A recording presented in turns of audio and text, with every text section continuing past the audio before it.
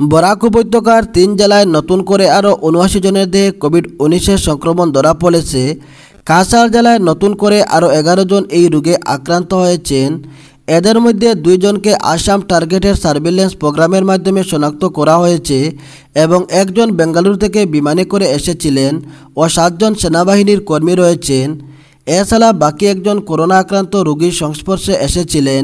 এ নিয়ে কাছাড় জেলায় এখনও পর্যন্ত তিনশো উনআশি জন করোনা আক্রান্ত রোগী শনাক্ত হয়েছেন। হাইলাকান্দি জেলায় গত চব্বিশ ঘন্টায় আরও আষট্টি জনের দেহে এই ভাইরাসের সংক্রমণ শনাক্ত হয়েছে। এর মধ্যে সাতজন হচ্ছেন হাইলাকান্দির উপায়ুক্তের কার্যালয়ের কর্মী এবং চোদ্দ জন বেঙ্গালুরু থেকে এসেছেন। এ নিয়ে হাইলাকান্দি জেলায় মোট করোনা আক্রান্তের সংখ্যা চারশো চুয়াত্তর জনে বৃদ্ধি পেয়েছে। করিমগঞ্জে প্রায় পাঁচ লক্ষ টাকা ড্রাগসহ সহ গ্রেফতার যুবক। করোনা অতিমারিতেও ড্রাগস কারবারিরা তাদের কালো সাম্রাজ্য বিস্তারে সক্রিয় রয়েছে। করিমগঞ্জ পুলিশের হাতে ধরা পড়ল এক পাচারকারী সহ পাঁচ লক্ষ টাকার ব্রাউন সুগার। এক গোপন খবরের ভিত্তিতে শুক্রবার রাত অনুমানিক এগারোটা নাগাদ সদর থানার ওসি বলরাম তেরন শহর সংলগ্ন কানিশাইল এলাকা থেকে পাচারের উদ্দেশ্যে নিয়ে আসা পাঁচ লক্ষ টাকার ব্রাউন সুগার সহ জামিল আহমেদ নামের এক যুবককে আটক করতে সক্ষম হন। জেলার পুলিশ সুপার কুমার রঞ্জিত কৃষ্ণের কাছে এ মর্মে খবর আসে যে, কানিশাইল এলাকায় পাচারের উদ্দেশ্যে এক যুবক ব্রাউন সুগার নিয়ে ঘোরাফেরা করছে।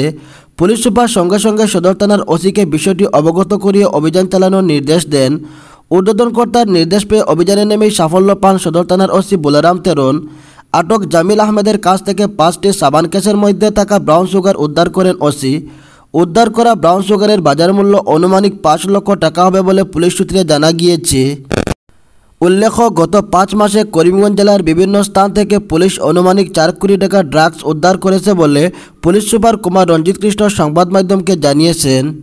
গুয়াহাটিতে উনিশ জুলাই পর্যন্ত বেড়েছে লকডাউন ঘোষণা অসহায় স্বাস্থ্যমন্ত্রীর। অসহায় সরকার, অসহায় জেলা প্রশাসন, তাই গুয়াহাটিতে লকডাউনের সময়সীমা আরও সাত দিন বাড়ানো হয়েছে। সে অনুযায়ী আগামী উনিশ জুলাই পর্যন্ত লকডাউনের মেয়াদ বেড়েছে কামরূপ মেট্রো জেলায়। করোনার গোষ্ঠী সংক্রমণ ঠেকাতে গত আঠাশ জুন মধ্যরাত থেকে কামরূপ মেট্রো জেলায় চোদ্দ দিন অর্থাৎ বারো জুলাই পর্যন্ত ফের বলবৎ করা হয়েছিল সম্পূর্ণ লকডাউন আজ এর মেয়াদ সম্পূর্ণ হওয়ার কথা ছিল। কিন্তু গতকাল বিকেলে জনতা ভবনে আয়োজিত সাংবাদিক সম্মেলনে গুয়াহাটিতে করোনার ভয়াবহতার প্রতি লক্ষ্য রেখে লকডাউনের মেয়াদ আরও সাত দিন বাড়ানো ছাড়া বিকল্প পথ নেই বলে সরকার তথা প্রশাসনের অসহায়তার কথা শুনিয়েছেন স্বাস্থ্যমন্ত্রী ডক্টর হিমন্ত বিশ্ব শর্মা। হাইলাকান্দি জেলায় করোনা ভাইরাসের সংক্রমণ বৃদ্ধি পাওয়ার পরিপ্রেক্ষিতে জেলা প্রশাসন পুনরায় বালি বালি সবজি, মাছ, মাংস সহ অন্যান্য সামগ্রী পৌঁছে দেওয়ার সিদ্ধান্ত নিয়েছে। জেলা উপায়ুক্ত মেঘানিধি দাহাল জানিয়েছেন যে, আগামীকাল থেকে নির্ধারিত হকারদের মাধ্যমে সবজি, মাছ, মাংস সহ নিত্য প্রয়োজনীয় সামগ্রী পাড়ায় পাড়ায় বিক্রি করা হবে। জেলা প্রশাসন আগামীকাল থেকে সাপ্তাহিক বাজার সহ সান্ধ্যকালীন বাজারগুলি বন্ধ করার নির্দেশ দিয়েছে। গুয়াহাটির জেলে করোনা আক্রান্ত বায়ান্ন জন কয়েদি। গুয়াহাটি জেলে বায়ান্ন জনের শরীরে করোনা সংক্রমণ ধরা পড়েছে। তাদের মধ্যে উনিশ জন কয়েদিকে শুক্রবার মহেন্দ্র মোহন চৌধুরী হাসপাতালে ভর্তি করা হয়েছে। বড় জঙ্গি নেতা রঞ্জন দৈমারি গুয়াহাটি মেডিকেল কলেজ হাসপাতালে চিকিৎসাধীন। শনিবার আবারও তেত্রিশ জন কয়েদির দেহে কোভিড পজিটিভ ধরা পড়ে।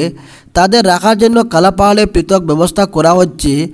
রাজ্য স্বাস্থ্যমন্ত্রী ডক্টর হিমন্ত বিশ্ব শর্মা জানিয়েছেন কারাগারে বাকিদেরও সংক্রমিত হওয়ার সম্ভাবনা খুবই বেশি, তাই ফের সকলে লালারসের নমুনা পরীক্ষা করতে বলা হয়েছে।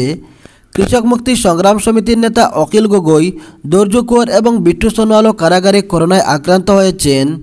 বলখলার বলিবাইল জীবিতে চতুর্দশ ফিনান্স প্রকল্পে অনিয়মের অভিযোগ, আদালতের নির্দেশে কাজ বন্ধ করল পুলিশ।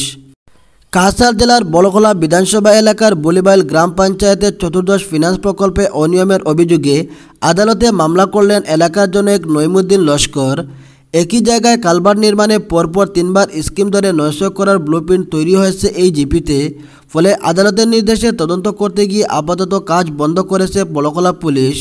তবে বৃহস্পতি, শুক্র ও শনিবার তিন দিন ধরে পুলিশ লাগাতার সংশ্লিষ্ট গ্রাম ঘুরে শান্তি শৃঙ্খলা রক্ষার্থে নজরদারি রেখেছে।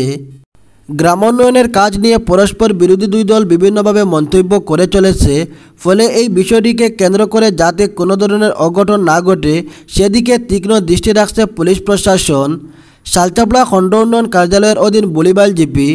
বুলিবাইল প্রথম খণ্ডের একই স্থানে একাধিকবার বিভিন্ন স্কিম ধরে সরকারি অর্থ হাতিয়ে নেওয়ার জ্বলন্ত উদাহরণ প্রকট হচ্ছে এই জিপিতে। উন্নয়নমূলক কাজকর্মের বারোটা বাজিয়ে ব্যক্তিস্বার্থ চরিতার্থে ব্যস্ত রয়েছেন দায়িত্বপ্রাপ্ত জনপ্রতিনিধি ও সরকারি কর্মীরা। স্পষ্ট অভিযোগ উত্থাপন করে আট জুলাই আদালতে মামলা দায়ের করেছেন বুলিবাইলের সমাজসেবী নইমুদ্দিন লস্কর।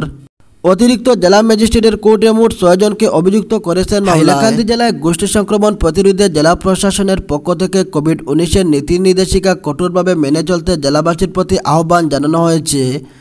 জেলায় গতকাল পর্যন্ত গোষ্ঠী সংক্রমণের সংখ্যা উদ্বেজনকভাবে বৃদ্ধি পাওয়ায় নতুন করে কোনো এলাকায় যাতে এই সংক্রমণ ছড়িয়ে না পড়ে, সেজন্য আরও কয়েকটি এলাকাকে কন্টেনমেন্ট ও বাফার জোনের অধীনে নিয়ে আসা হয়েছে। হাইলাকান্দির উপায়ুক্ত মেঘানিধি দাহাল বিভাগীয় কর্মচারী ও জেলাবাসীদের মধ্যে যাদের সব সংগ্রহ করা হয়েছে, তাদের রেজাল্ট না আসা পর্যন্ত গড় থেকে না বেরোনোর নির্দেশ দিয়েছেন। এদিকে লোকসমাগম এড়িয়ে চলতে জেলা প্রশাসনের পক্ষ থেকে সাপ্তাহিক হাট বাজার ও সান্ধ্যকালীন বাজার বন্ধ ঘোষণা করা হয়েছে।